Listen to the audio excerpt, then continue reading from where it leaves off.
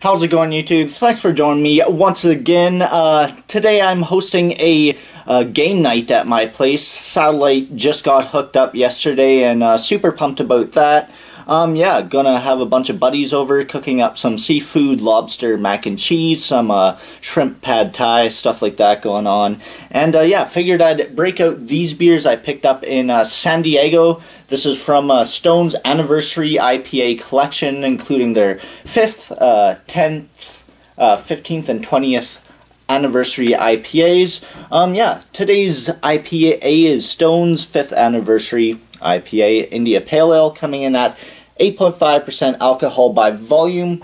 Don't know a whole lot about this beer. Uh, there, I couldn't find a IBU amount, anything like that. Couldn't find any hop varieties, uh, stuff like that. But um, yeah, apparently it was at that time the hoppiest beer they'd ever brewed. So um, yeah, super excited to try it out. It pours a, a, half a finger of a bubbly, soapy, off-white head, super crystal clear, nice amount of carbonation going up the body, pours a uh, golden orange kind of color. Nice looking beer. Let's get an aroma. Oh, lots of uh, pine citrus right away. Getting some mango in the background. Definitely getting a nice maltiness from this one. Yeah, like a toffee kind of malt in the background there. Getting the certain fruit, yeah, definitely grapefruit, but uh, I want to say like a peach, something like that going on. Yeah, nice dankness to it.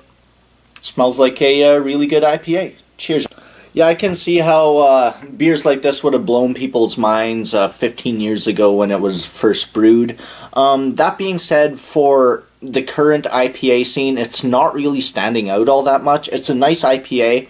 I'm getting a nice uh, sweet malt to it, nice uh, breadiness, a nice bitterness across the tongue. Really beautiful, uh, uh like really lingering kind of bitterness.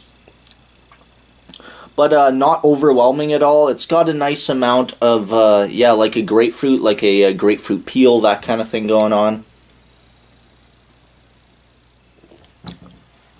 Some nice resin, some nice dankness to it.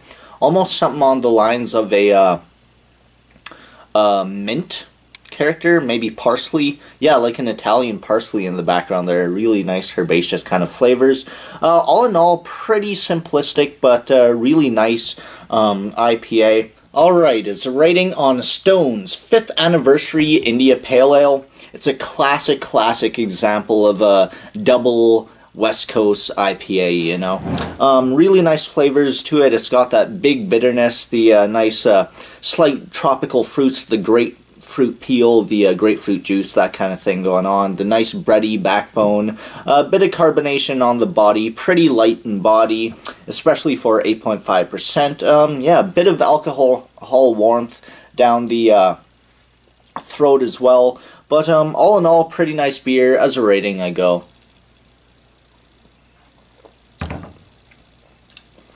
I think like a straight up B. Like an 84, 8, 83, right around there on this one. Pretty nice beer. Again, it's a classic example. It's not really pushing any boundaries. It's not going to blow any minds or anything like that, you know. But it's a great beer. Uh, yeah, definitely let me know what you think of Stone's 5th anniversary IPA, any of Stone's other beers. Thanks for watching, everybody. Please like, comment, and subscribe. Until the next time, cheers.